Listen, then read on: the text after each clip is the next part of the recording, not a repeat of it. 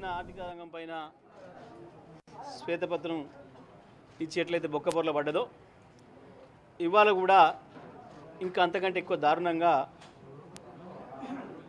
పారిపోయే ప్ర ప్రయత్నం చేసింది.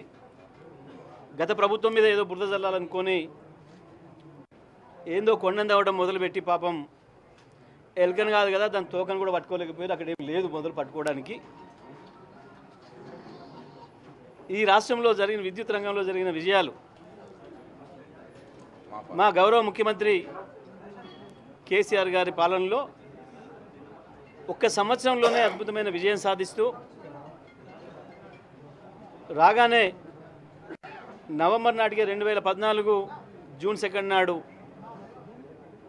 ఛార్జ్ తీసుకుంటే సీఎంగా ప్రమాణ స్వీకారం చేస్తే నవంబర్ నాటికే గృహ వినియోగానికి వాణిజ్య అవసరాలకి పారిశ్రామిక అవసరాలకి ఇరవై నాలుగు గంటల విద్యుత్తును అందుబాటులోకి తెచ్చిన విషయం ఈ రాష్ట్ర ప్రజలందరికీ కూడా తెలుసు. అదేవిధంగా వ్యవసాయ రంగానికి కూడా మొదటి సంవత్సరం వరుసగా ఆరు గంటలు ఇచ్చే ప్రయత్నం చేసి రెండేళ్ళు పూర్తయ్యే నాటికి తొమ్మిది గంటల విద్యుత్తును అందించిన విషయం ఈ రాష్ట్ర రైతాంగం అందరి మదిలో ఉంది. మూడేండ్లు నిండగానే ఇరవై నాలుగు గంటల విద్యుత్తును రైతాంగానికి కూడా అందుబాటులోకి తెచ్చిన విషయం ఈ రాష్ట్ర రైతుల అందరి దృష్టిలో ఈ రాష్ట్ర ప్రజలందరి దృష్టిలో కూడా ఉన్న విషయం మనందరికి కూడా తెలుసు. మీడియా మిత్రులకు కూడా తెలుసు. ఆనాడు ఏ రకంగా హైదరాబాద్ కావచ్చు పట్టణాలు కావచ్చు ఈ సమయం అయితే విద్యుత్ లేకుండా ఎట్లా చీకట్లుండేనో జనరేటర్ లేకుండా ఏ చిన్న షాప్ కూడా నడవలేని పరిస్థితి ఏముండేనో ప్రత్యేకించి గ్రామీణ ప్రాంతాల్లో రోజుల తరబడి వారాల తరబడి విద్యుత్ లేని పరిస్థితి ఏముండేనో ఈ రాష్ట్ర ప్రజలందరికీ కూడా గుర్తుంది. ప్రత్యేకించి రైతాంగం విషయంలో ఎంత గోసపెట్టినాయో ఆనాటి ప్రభుత్వాలు రైతులు ఇంకా మర్చిపోలేదు. నానా కష్టపడి అప్పులు తెచ్చి బోర్లు వేసుకొని విద్యుత్ కనెక్షన్ కొరకు వాళ్ళ చుట్టూ వీళ్ళ చుట్టూ ఎమ్మెల్యే చుట్టూ తిరిగి పైరవులు చేసుకొని విద్యుత్ కనెక్షన్ తెచ్చుకుంటే కనీసం వరుసగా మూడు గంటలు ఇవ్వలేని ఆనాటి చేతగాని ప్రభుత్వాన్ని సమర్థించుకుంటూ మేమేదో గొప్పలు చేసినాం అని తప్పించుకునే ప్రయత్నం చేసిండ్రు. కానీ అవ్వాల మా తెలంగాణ రైతాంగం చేసిన అప్పుల నుంచి బయటపడడం కొరకు బోర్లు కరెంటు కొరకు పుస్తలు అమ్ముకున్న విషయం బండెడ్లను బండ్లను అమ్ముకున్న విషయం చివరికి ఏ బో బావి ఏ పొలంలో అయితే బోర్లు వేసిరో ఏ భూమిలో బోర్లు వేసినరో ఆ భూమిలోనే కొంత భాగాన్ని అమ్ముకోవలసిన దుస్థితిని ఎదుర్కొన్న విషయం మా రైతాంగం ఏమీ మర్చిపోలేదు. కానీ ఇవాళ ఏందో బుకాయించే ప్రయత్నం చేసి అసెంబ్లీలో ఏందో భయపెట్టిస్తామని దాని ద్వారా మొత్తం మేమే చేసినాం. అవల మేము పెట్టిన చెట్టుకే కాసింది కరెంటు మీరు వచ్చి అందుకే ఇవ్వగలిగినరు అని చెప్పి ఓ డ్రామా చేసే ప్రయత్నం చేయబోయినారు. మేము స్పష్టంగా చెప్పినాం. మీ శ్వేతపత్రంలో ఏముందో గదే మాట్లాడదాం. దాంట్లోనే రాసిండ్రు. ఆనాడు ఏడు వేల ఏడు వందల మెగావాట్ల స్థాపిత సామర్థ్యం ఉంది.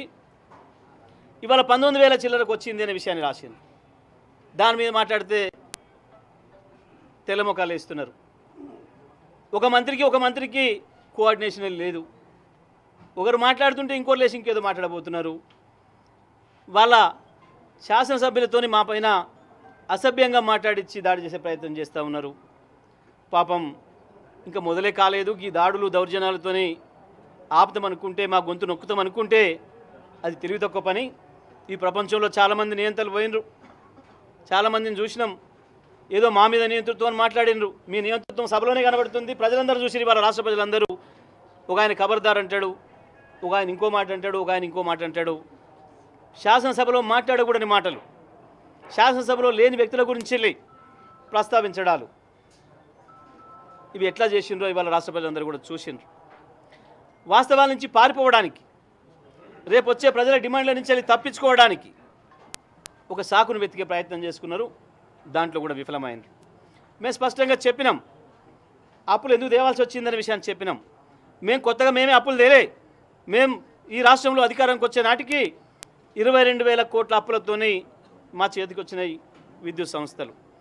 ఆనాడు మొత్తం కలిపితే మీ అరవై ఏళ్ళ పరిపాలనలో ఇచ్చింది కేవలం నలభై వేల ఆస్తులు మాకు ఆనాడు మీకు ఇచ్చింది. నలభై వేల కోట్లు. దాంట్లో ఇరవై రెండు వేల కోట్ల అప్పులు. మేము తెచ్చిన అప్పులో ఇప్పటికి సగాని పైన కట్టినాం. మీ ఇరవై రెండు వేల కోట్లు తీసేస్తే ఇవాళ ఇంకొక ఇరవై వేల కోట్లు కూడా లేవు. జెన్కోకు సంబంధించిన అప్పుల విషయంలో ఎవరికి ఇబ్బంది లేదు. జెన్కో అప్పు జెన్కోని తీసుకుంటుంది. ప్రభుత్వానికి సంబంధమే లేదు. అవి పవర్ ప్రాజెక్టులు హైపోతికేషన్ చేసి తీసుకొచ్చినవి. పవర్ ప్రాజెక్టులు ఏదైతే ప్రారంభమవుతాయో దాని నుంచి ఆ అప్పులు జనుకొని తీర్చుకుంటుంది. ఇక్కడ ఎక్కడ కూడా ఎవరికి ఇబ్బంది లేదు. అయినా విద్యుత్ సంస్థల స- అప్పులకు సంబంధించి ప్రభుత్వానికి ఎటువంటి ఇబ్బంది కూడా లేదు. ప్రభుత్వ అప్పుల్లో దాన్ని చూపించే అక్కర కూడా లేదు. ముద్రగా ఇది తెలంగాణ ప్రజానికానికి అందరికి కూడా పోవాల్సిన విషయం. ఎప్పుడు కూడా కార్పొరేషన్ల అప్పులు కార్పొరేషన్లు మాత్రమే తీర్చుకుంటాయి. పైగా కార్పొరేషన్లు అనేవి లాభాల కొరకు పెట్టినవి కావు. ఇవి ప్రభుత్వ రంగ కార్పొరేషన్లు ప్రజలకు సేవలు అందించడానికి పెట్టినవి. కొన్ని సందర్భాల్లో నష్టం వచ్చినా సరే తప్పకుండా సేవలు అందించాల్సి వస్తుంది. ఆర్టీసీ కావచ్చు విద్యుత్ సంస్థలు కావచ్చు ఇవి ప్రజలకు సేవలు అందించడం కొరకు వచ్చినవి మాత్రమే. ప్రభుత్వాలకు బాధ్యత ఉంది. ఆ వచ్చే నష్టాల్లో ఒక సందర్భం వచ్చినప్పుడు ప్రభుత్వాలు రిస్క్ తీసుకోవాలి. ఇప్పటికీ మేము మా ముఖ్యమంత్రి గారు ఈ పది సంవత్సరాల కాలంలో యాభై వేలకు పైగా విద్యుత్ సంస్థలకు చేయూతను అందించారు యాభై వేల కోట్లు ఇప్పటికే విద్యుత్ సంస్థలకు అందించి వాటిని సేవలు అందించడానికి కావాల్సిన పద్ధతిలో నడుపుతా ఉన్నాం. రైతాంగానికి ఏదైతే ఇరవై నాలుగు గంటల కరెంటు అందుబాటులోకి తెచ్చి ఇచ్చినామో అది వీళ్ళందరికీ ఏడుపు. ఎందుకంటే వీళ్ళు మిగతా రాష్ట్రాలలో మూడు గంటలకు ఎక్కువ కరెంట్ ఇవ్వలేకపోతున్నారు అనే విషయాన్ని స్పష్టంగా అక్కడ ప్రజానికం చెప్తున్నారు. కర్ణాటకలో మొదలైంది.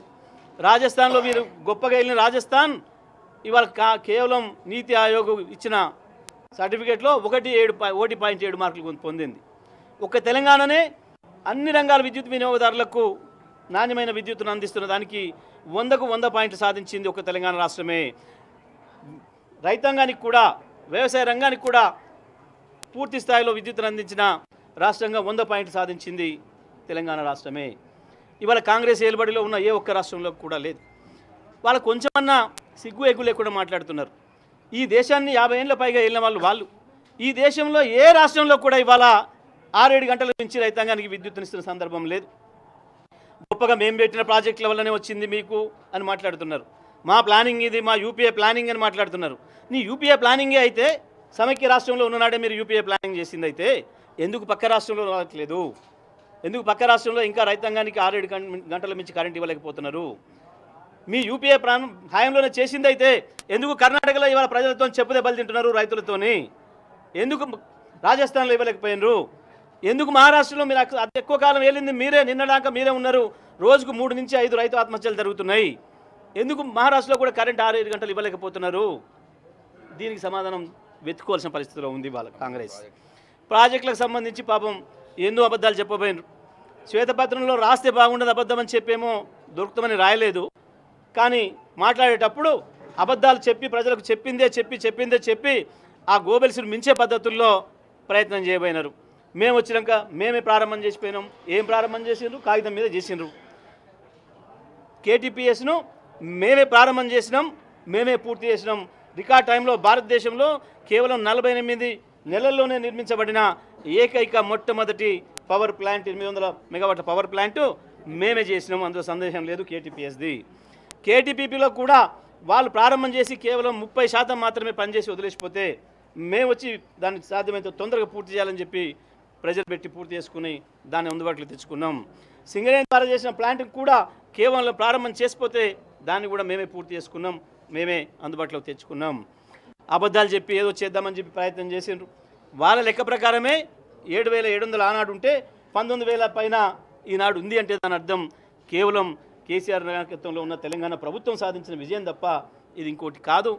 దీని నుంచి తప్పించుకునే ప్రయత్నం అప్పులు ఉన్నాయి అప్పులు ఉన్నాయని చెప్పి చెప్పి- చెప్పి తప్పించుకునే ప్రయత్నం అప్పులు ప్రతి ఈ రాష్ట్రంలో ఉండే ఈ దేశంలో ఉండే ప్రతి కార్పొరేషన్కి అప్పులు ఉన్నాయి. ఈ దేశంలో ఉన్న అన్ని ప్రభుత్వాలకు రాష్ట్ర ప్రభుత్వాలతో సహా కేంద్ర ప్రభుత్వాలకు అప్పులు ఉన్నాయి అన్ని విద్యుత్ సంస్థలకు అప్పులు ఉన్నాయి వాళ్ళ రాజస్థాన్కి ఇంకా ఎనభై తొమ్మిది వేల కోట్ల అప్పులు ఉన్నాయి అంతకంటే ఎక్కువ లోటు ఉంది. నష్టాలు ఎనభై తొమ్మిది వేల కోట్ల నష్టాల్లో ఉంది. వాళ్ళ కర్ణాటక నష్టాల్లో ఉంది. అన్ని రాష్ట్రాలలో ఉండే డిస్కమ్లు నష్టాలు ఉన్నమాట. వాస్తవం అందులో సందేహమే లేదు. ఎందుకంటే ప్రజలకు విద్యుత్తును అందించేటప్పుడు క్రాస్ సబ్సిడీలు ఇస్తారు కాబట్టి సహజంగానే కొంత లోటు ఉంటుంది ఎప్పుడైనా సరే. దాని ప్రభుత్వాలే ఏదో రకంగా పూడుస్తాయి. ప్రభుత్వాలే వాటిని ముందు నడిపే ప్రయత్నం చేస్తాయి. ప్రభుత్వ రంగ సంస్థలే కాబట్టి ప్రజలకు సేవలు అందించడం కొరకు మాత్రమే ఉన్నాయి కాబట్టి తప్పకుండా చెయ్యాలి. ఆ విషయం స్పష్టంగా చెప్పినాం మేము. రెండు వేల పద్నాలుగులో మీరున్న మీరున్న నాడు ఆనాటికి మాకు ఇచ్చే నాటికి విద్యుత్ అందుబాటులో ఉన్న సరఫరా పంపిణీ చేయలేని పరిస్థితిలో ఉన్నారు. రెండు వేల ఐదు ఆరు ఏడులలో నాగార్జున సాగర్ శ్రీశైలంలో పూర్తి స్థాయిలో ఉత్పత్తి వచ్చినాడు కూడా మీరు మూడు గంటల స్పెల్లే ఇచ్చారు తప్ప రైతాంగానికి ఆరు గంటలు ఇవ్వలేదు. ఎందుకు ఇవ్వలేదు అని చెప్పి మేము ఆ రోజు అధికారులను పిలిచి అడిగినప్పుడు వాళ్ళు స్పష్టంగా చెప్పిండ్రు సార్ మనకు డిస్ట్రిబ్యూషన్ వ్యవస్థ లేదు ట్రాన్స్మిషన్ వ్యవస్థ లేదు. ఒకవేళ ఇవాళ విద్యుత్ అందుబాటులోకి వచ్చినా అవి లేవు కాబట్టి ఇవ్వలేము అనే మాట స్పష్టంగా చెప్పారు దానిపైనే మొట్టమొదటిగా కేసీఆర్ గారు దృష్టి పెట్టి వెంటనే ఆ రెండింటిని కూడా పూర్తి స్థాయిలో అభివృద్ధి చేయండి. మనం వచ్చే ఐదేళ్ళలో పదిహేను వేల మెగావాట్లకు పోవాలి. వచ్చే పదేళ్ళలో ఇరవై నాలుగు వేల మెగావాట్లకు దాటాలి. ఆ స్థాయి డిమాండ్ వచ్చినా సరే సరఫరాకు ఎక్కడ ఇబ్బంది కావద్దు పంపిణీకి ఎక్కడ ఇబ్బంది కావద్దు ట్రాన్స్మిషన్ డిస్ట్రిబ్యూషన్ సిస్టమ్లను స్ట్రెంథెన్ చేయండి అని చెప్పి వారు ఇచ్చిన ఆదేశాల మేరకు వెంటనే ఆ రోజుకి అప్పులు ఉన్నాయి ఆ సంస్థలకు. కాబట్టి మళ్ళీ అయినా అప్పు తీసుకొచ్చి పూర్తి చేయాలి తప్ప పైసలు వచ్చినాడే ఏందో చేస్తామనుకుంటే ఎప్పటికీ రావు. ఆ రోజు విద్యుత్ సప్లై చేయలేకపోతే డబ్బులు రావు ప్రజల నుంచి. విద్యుత్ సప్లై చేస్తేనే వినియోగదారుల నుంచి డబ్బులు వస్తాయి. మరి విద్యుత్ సప్లై చేయాలి అంటే దానికి సరిపోయే ట్రాన్స్మిషన్ సిస్టమ్ డిస్ట్రిబ్యూషన్ సిస్టమ్ ఉండాలి మొదలు. అందుకే మొట్టమొదలు వాటిపైన దృష్టి పెట్టి నలభై వేల కోట్ల రూపాయలతోనే ఇవాళ డిస్ట్రిబ్యూటరీ అండ్ ట్రాన్స్మిషన్ సిస్టమ్లను పూర్తి స్థాయిలో అభివృద్ధి చేసినాం. తెచ్చిన అప్పులను కూడా ఇప్పటికి సగం పైగా చెల్లించినాం. ఆస్తులు మాత్రం నిలబడిపోయినాయి. ఆస్తులు ఇవాళ పెరిగినాయి బ్రహ్మాండంగా పెరిగినాయి. దాంట్లో అప్పులను కూడా కొంత తీర్చడం కూడా జరిగింది. వాళ్ళు చేసిన అప్పు తీసేస్తే ఇవాళ మేము మేము మా ప్రభుత్వం వచ్చిన తర్వాత సంస్థలు చేసిన అప్పు కూడా పెద్ద లెక్క కాదు. అది దాంతో సమానంగానే ఉంది తప్ప ఇంకోటి కాదు. ఇది స్పష్టంగా కనబడుతుంది. జెన్కో ద్వారా కూడా ప్రభుత్వ రంగంలోనే ఉత్పత్తి చేయాలి. ప్రైవేట్ రంగంలో మనం కొంటున్నప్పుడు కొన్ని సందర్భాలలో పీక్ అవర్స్లో వాళ్ళు ధర ఎక్కువ పెడుతున్నారు పది పదిహేను రూపాయలు అంటున్నారు ఇరవై రూపాయలు అంటున్నారు కేంద్ర ప్రభుత్వ సంస్థలు కూడా మనకి ఇవ్వాల్సిన విద్యుత్ విషయంలో మనం ఎప్పుడైనా అదనంగా అడిగితే పది రూపాయలు పదిహేను రూపాయలు డిమాండ్ చేస్తున్నారు మీటర్లు రానివ్వను అని చెప్పిండ్రు దాని కొరకు దాదాపు ముప్పై ఐదు వేల కోట్లు మాకు రావాల్సిందని కూడా వదులుకున్నారు మీరు కూడా అదే మాట మీద నిలబడతారా లేదా రైతాంగానికి మీటర్లు పెడతారా పెట్టరా స్పష్టం చేయాలి అని చెప్పి మేము డిమాండ్ చేస్తున్నాం పెట్టొద్దు అని స్పష్టంగా చెప్పినాం. అదే పద్ధతి మేము చేసిన పద్ధతినే కొనసాగించాలని చెప్పి కూడా మేము స్పష్టంగా చెప్పినాం. దానిపైన వివరణ ఇవ్వాలంటే పారిపోయినరు తప్పించుకున్నారు. దాని మీద మాట్లాడలేదు. అదేవిధంగా వాళ్ళు ఏదైతే మొన్న గ్యారంటీలలో ఇచ్చి రెండు వందల యూనిట్లు మొత్తం తెల్ల రేషన్ కార్డులు ఉన్న అందరికి కూడా ఉచితంగా ఇస్తామని చెప్పిండ్రు మరి అది ఎప్పుడు అమలు చేస్తారు తప్పకుండా దాన్ని వెంటనే ప్రారంభించాలి. దానిపైన కూడా మీరు ఏ డేట్లో ఇస్తారో చెప్పమని చెప్పి చెప్పాలని చెప్పి అడిగినాం. దాంతోపాటు మేము ఏదైతే టారిఫ్ రివిజన్ చేయకుండా ప్రజలపై భారం పడకుండా ఎట్లనైతే నడిపినమో అదే పద్ధతుల్లో టారిఫ్ రివిజన్ చేయొద్దు ధర పెంచి ప్రజలపైన భారం వేయొద్దు అని చెప్పి మేము అది కూడా డిమాండ్ చేసినాం. దానిపైన కూడా వారు సమాధానం చెప్పలేదు. ఇరవై నాలుగు గంటలు రైతాంగానికి మేము ఇచ్చిన పద్ధతుల్లోనే ఇవ్వాలి అని చెప్పి కూడా మేము అడిగినాం. దాని మీద కూడా సమాధానం చెప్పలే. ప్రభుత్వం పిరికి పందలాగా పారిపోయింది. కేవలం వాళ్ళు మాత్రమే మాట్లాడి మాకు మాట్లాడే అవకాశం ఇవ్వకుండా మా గొంతునెక్కే ప్రయత్నం చేసింది. అయినప్పటికీ కూడా మేము ఎంత చేయాలంత ప్రయత్నం చేసినాం. ఈ రాష్ట్ర ప్రజలందరూ కూడా ఈ విషయాలన్నింటినీ కూడా గమనించాలని ప్రత్యేకించి రైతాంగం పైన జరుగుతున్న కుట్ర ఏదైతే ఉందో ఈ ప్రభుత్వం పారిపోవడానికి ఏదైతే ప్రయత్నం చేస్తుందో ఇచ్చిన హామీ నుంచి తప్పించుకోవడానికి ఏదైతే ప్రయత్నం చేస్తుందో దీని విషయంలో తెలంగాణ ప్రజలందరూ కూడా జాగ్రత్తగా ఉండాలని చెప్పి కూడా మేము కోరుతా ఉన్నాం.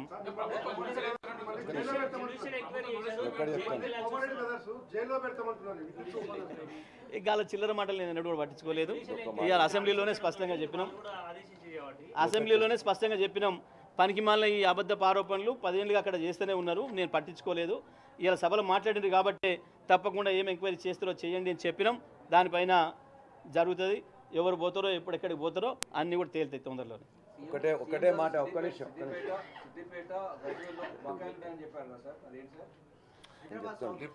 దాని మీద మళ్ళీ తప్పించుకున్నారు. దాని మీద మళ్ళీ మాట్లాడే మాట మార్చారు తప్పించుకున్నారు. అది పూర్తిగా అబద్ధం అనే విషయం తేలిపోయింది స్పష్టంగా. నిన్న సిద్దిపేట గజ్వేల్లో ఇరిగేషన్ బిల్లులు- ఉన్నాయి కాబట్టి అక్కడ ఏమన్నా బిల్స్ ఉంటే ఉంటాయి అవి. ప్రజలే కావు అన్న విషయం మేము చెప్పినాము. అది వాళ్ళు తర్వాత వాళ్ళ జ్ఞానోదయం అయింది ఒకటే విషయం నిన్న ఇవాళ ప్రవేశపెట్టిన శ్వేతపత్రాల్లో నిన్న జరిగిన దాంట్లో మొత్తం ఆర్థిక శాఖలో కూడా వాళ్ళు ఏదో ఒక రిఫరెన్స్ తీసుకోవాలి. మూడు రిఫరెన్స్లు తీసుకొని ఒకటి ఆర్బీఐ సోర్స్ అన్నారు ఒకటి సిఏజీ సోర్స్ అన్నారు ఇంకోటి మన యొక్క బడ్జెట్ సోర్స్ అని చెప్పి చెప్పేసి మొత్తం కూడా అబద్ధాలు చెప్పింది అయితే నిన్నటికి ఇయాటికి కూడా చెప్పిన దాంట్లో కూడా నిన్న పవర్ ఫైనాన్స్ కార్పొరేషన్లో ఒక వెయ్యి ఐదు వందల ముప్పై కోట్లు ఉందని చెప్పి చెప్పిండ్రు ఇవాళ అది చెప్పలే. అట్లానే డిస్కమ్స్లో కానీ జెన్కో కానీ ట్రాన్స్కో కానీ నిన్న చూపించిన వాటికి ఇవాళ చూపించిన వాటికి దరిదాపుగా నిన్న ఎనభై రెండు వేల కోట్లు చూపిస్తే ఇలా డెబ్బై ఎనిమిది వేల కోట్లు చూపించింది అంటే మొత్తం నాలుగు వేల మూడు వందల ముప్పై తొమ్మిది కోట్లు నిన్న నిన్న చూపించిన దాంట్లో ఇక్కడ చూపించిన దాంట్లో వ్యత్యాసం ఉన్నది. అంటే లెక్కలు కూడా సరిగ్గా లేకుండా ఇలా మొత్తం కూడా శ్వేతపత్రాల పేరు శ్వేతపత్రాల పేరు మీద మొత్తం తప్పుల తడకలాగా ఒకటే రెఫరెన్స్ తీసుకోవాలి. ఒకటే డేట్ తీసుకోవాలి. నిన్న ప్ర నిన్న ఉన్నదే ఇవాళ కూడా ఉండాలి. అది ఆర్థిక శాఖనే చేస్తుంది. ఇది కూడా ఆర్థిక శాఖ రిఫరెన్స్ చేస్తుంది. రెండో విషయం నిన్న పవర్ ఫైనాన్స్ కార్పొరేషన్లో ఉందంటారు ఇవాళ పవర్ ఫైనాన్స్ కార్పొరేషన్ లేదంటారు. అంటే నిన్నటికి యాటికి దానికి ఉన్న బకాయిలు మొత్తం పే చేసిండ్రా? లేకపోతే నిన్నటికి యాటికి మొత్తం కూడా ఆ పవర్ ఫైనాన్స్ కార్పొరేషన్ ఎత్తేసిండ్రా? ఆ విషయాలు లేకుండా మొత్తం తప్పుల తడకలాగా అర్ధ సత్యాలతో అసత్యాలతో నింపిన దీన్ని బదనాం చేయాలని చెప్పి పెట్టిన తప్ప నిజంగా ఇవి శ్వేతపత్రాల్లో వారికి కూడా మంత్రివర్గానికి కానీ అధికారులకు కానీ కోఆర్డినేషన్ లేకుండా ప్రజలను మా మీద తప్పు చేయాలని చెప్పి చేసిండ్రు. ప్రజలందరికీ తెలుసు పది వసంతాల ప్రస్థానంలో ఈ రాష్ట్రంలో ఎలక్ట్రిసిటీ మొత్తం కూడా వెలుగు జిరుగులు ఉన్నది. అది వాళ్ళకు వాళ్ళ యొక్క అనుభవం ఉన్నది. ఇంతకంటే ఎక్కువ ఎవరికి కూడా చెప్పాల్సిన అవసరం లేదు. ఒక్క మాట చెప్పాలంటే ఇవాళ వాళ్ళు చేసిన పని ఈ రాష్ట్రానికి పది సంవత్సరాలు కష్టపడి అద్భుతమైన వెలుగులు నింపిన విద్యుత్ శాఖలోని సిఎండీల నుంచి సిబ్బంది వరకు అందరినీ అవమానించే పద్ధతుల్లో చేసిరు తప్ప అబద్ధాలు చెప్పి అబద్ధం కాబట్టే మారింది. ఎప్పుడైనా నిజం నిలకడగా ఉంటుంది స్పష్టంగా ఒకటే మాట మీద ఉంటుంది. అబద్ధం అనేది రూపులు మారుకుంటూ పోతుంది రంగులు మారుకుంటూ పోతుంది. ఇవాళ అదే ప్రయత్నం చేసిరు నిన్నటికి ఇవాళకి తేడా మొన్నటికి ఇవాళకి తేడా రోజు రోజుకు మారుతుందంటే దాని అర్థం అంతమించి ఏం లేదు. వాస్తవానికి శ్రీశైలం విషయంలో కూడా పూర్తిగా అబద్ధం మాట్లాడి ముఖ్యమంత్రి గారు. మళ్ళీ మేము మాట్లాడడానికి ప్రయత్నం చేస్తే మాకు అవకాశం ఇవ్వకుండా ఇద్దరు ముఖ్యమంత్రి ఉప ముఖ్యమంత్రి మూడు గంటలు మాట్లాడి మళ్ళీ మేము మాట్లాడుతున్న సందర్భంలో మైక్ కట్ చేయించడం లేచి అభ్యంతరం చెప్పడం.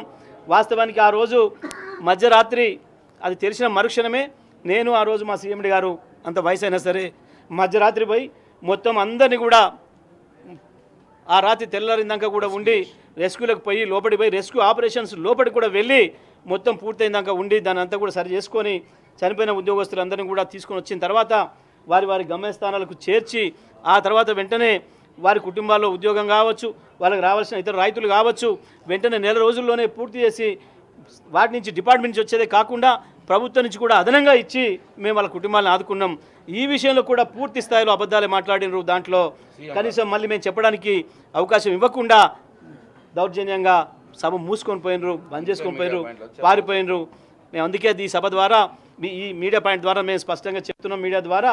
ఇది తెలంగాణ విద్యుత్ ఉద్యోగుల్ని కింది స్థాయిలో లైన్మెన్ నుంచి మా సబ్ స్టేషన్ ఆపరేటర్ నుంచి సీఎండీల వరకు పది సంవత్సరాలు వాళ్ళు పడ్డ కష్టాన్ని అవమానించే పద్ధతుల్లో పనిచేసింది ప్రభుత్వం తప్ప ఇంకోటి కాదు.